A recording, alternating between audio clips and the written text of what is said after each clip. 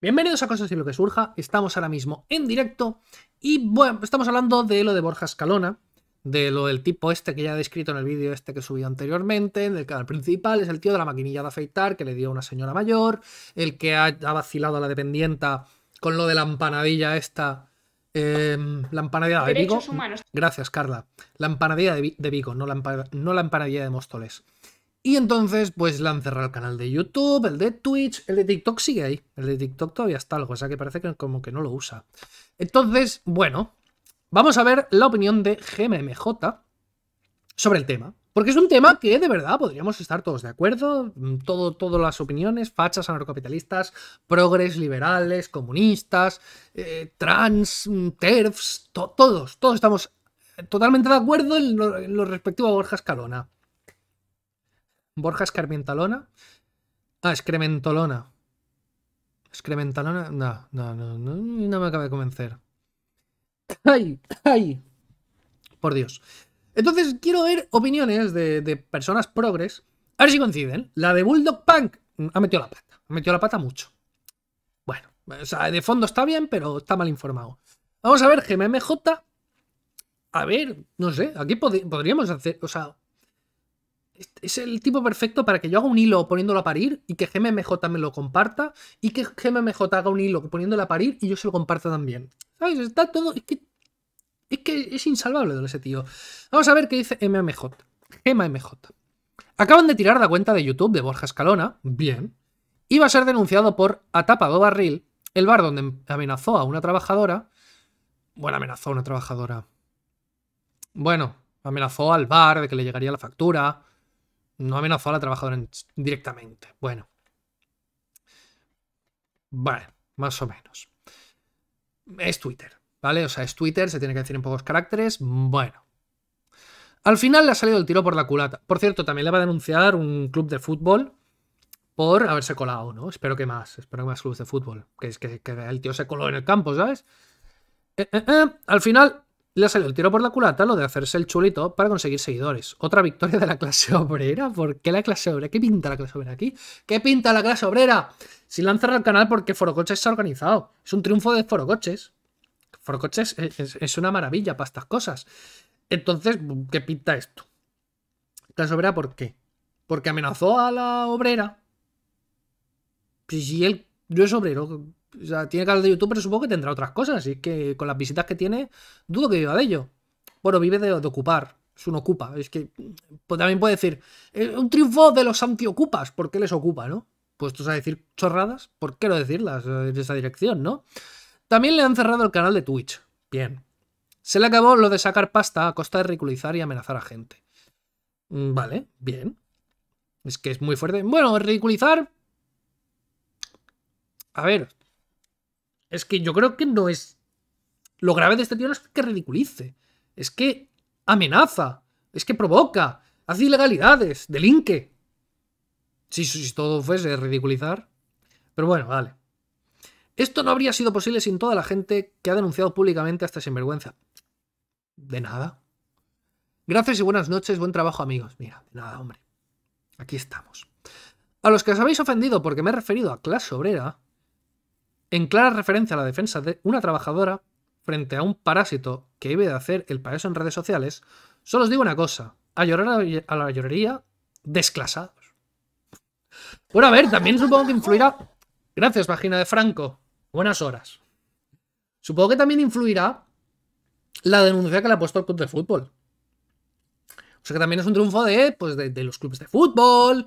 Eh, también la denuncia, no sé si la ha puesto la trabajadora o la dueña del local. Entonces también puede ser un triunfo de, la dueña del local. Y de las mujeres, porque como eran dos mujeres, la empleada, bueno, las dos empleadas y la dueña, no sé si la voz que se oía era la dueña, ¿no? Había, varias voces, igual la otra voz era de, quién sabe. luego dice, lo de desclasados me flipa. O sea, el insulto, desclasados. Es como si un tío del Ku Klan ve que no eres racista y te, digo, te dice, des, desrazado. Sí, y a mucha honra. O sea, sí, soy un desclasado, un desrazado, un dessexado y un desnacionalizado. O sea, porque no discrimino a nadie, ni por raza, ni por sexo, ni por clase, ni por... No, no, no me sale. Entonces, pues bueno. Resulta un poco rarito. Y es que no es cuestión de defendernos, o sea, de defender a la clase trabajadora de este parásito. Es cuestión de defender a cualquier persona de este tío. O sea, incluso al club de fútbol, al que ha entrado ilegalmente. todo, todo, todo, todo en contra, todo mal. O sea, me da igual. Eh, a la dueña del, del local también. Pero ¿por qué no tienen que dirigir todos a esto?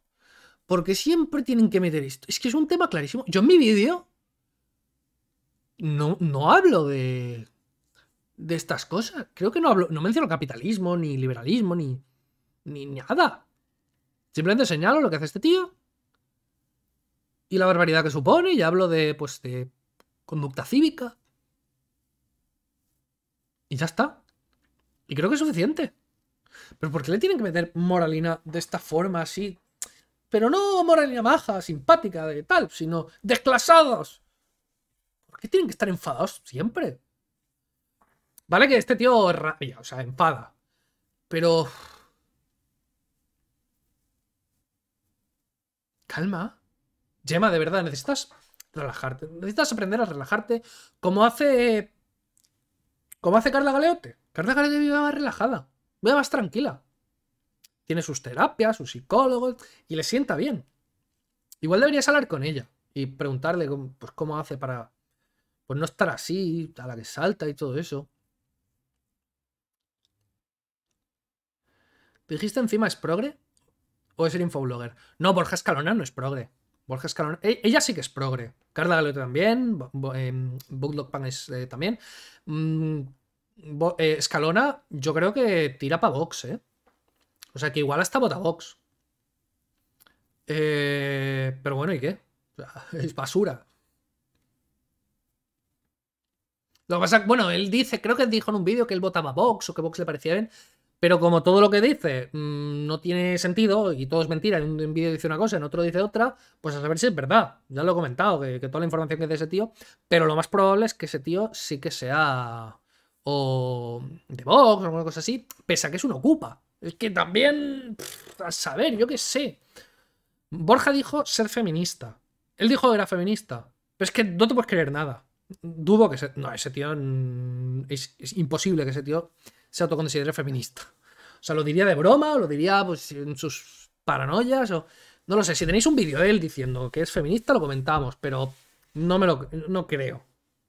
Borja sí que es progre. Busca su vídeo reaccionando a Roma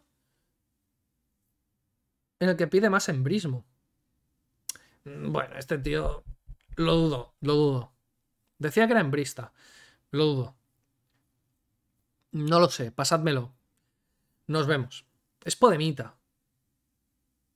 Yo en un vídeo sí que vi que decía que le tiraba más Vox. Igual otro dicho que es Podemita. Ya os he dicho que no os podéis fiar de este tío. Dirá lo que esté de moda. No, dirá lo que provoque. Este tío busca provocar sin ton ni son. Y aunque quede bien, aunque quede mal, da igual. Le da completamente igual. Lo que, importa, lo que le importa es crear interacción, sea buena, sea mala, sea en hater, sea... Le da completamente igual. Pero bueno, nos vemos. Gema, muy mal, ¿eh?